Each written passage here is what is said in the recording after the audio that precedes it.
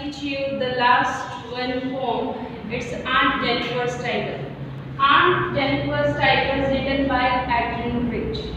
Adrienne Rich, who was born in USA. She was contemporarily involved in the women's movement as poet. She has written 19 volumes of poetry and three collection of stories, essays. Aunt Jennifer's Tigers. This poems reveal us that exploitation is not only we have seen in India but almost in all over the world. The story is about USA and what she described. Why this is mentioned Aunt Jennifer's tiger. What do you understand by a tiger? If anyone can tell me? No. Aunt Jennifer's tiger. Actually, Aunt is married with a man who just bound and only for the domestic work perhaps. She couldn't express her feeling how she could want to live the life now she is on the end of the life and what type of life she wanted to live she described in the poem to embroider the design of the tigers. Aunt Jennifer's tiger means the tigers which she has designed as a embroidery. Express she just wanted to live life like tigers.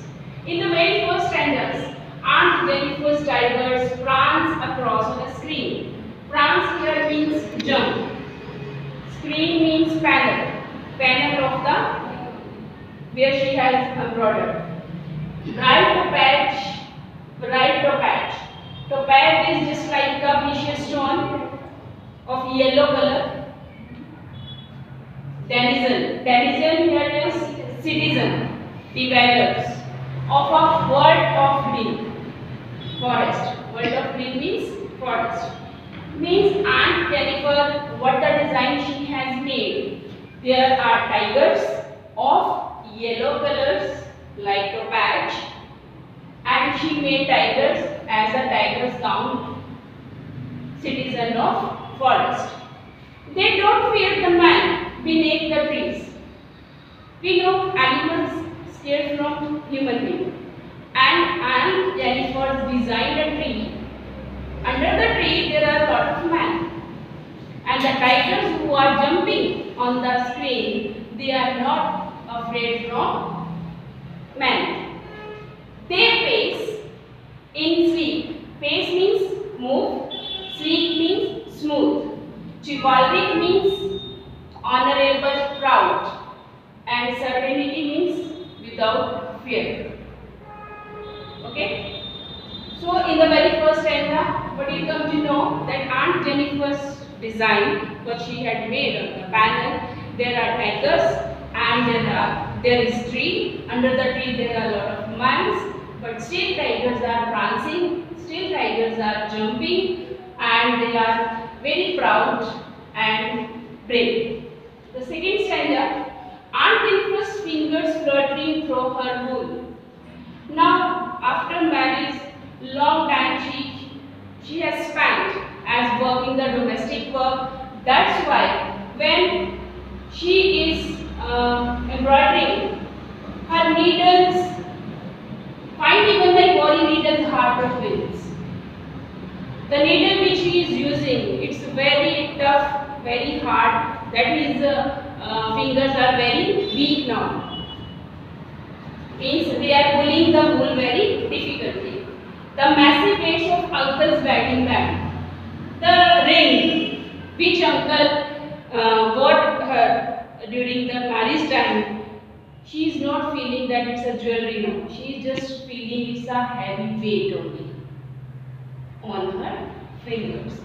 Sit happy upon Aunt Jennifer's hand means she is not happy due to the jewelry. She is only feeling is a massive weight. It's very heavy weight only on her body. The very last stanza, when aunt is dead, her terrified hand will lie. Means the design which Aunt Jennifer already has made.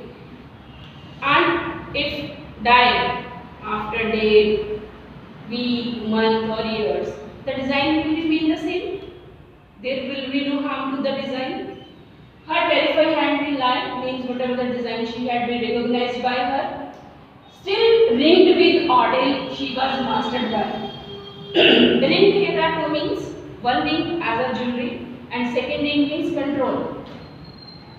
Like the tiger controlled by the man in the circus you have seen. Same like the design which Aunt Jennifer has made recognized by the Aunt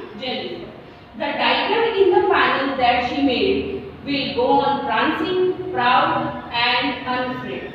Means the tiger which Aunt, Aunt Jennifer has made design. They continue jump, very proud and without any of Thank you.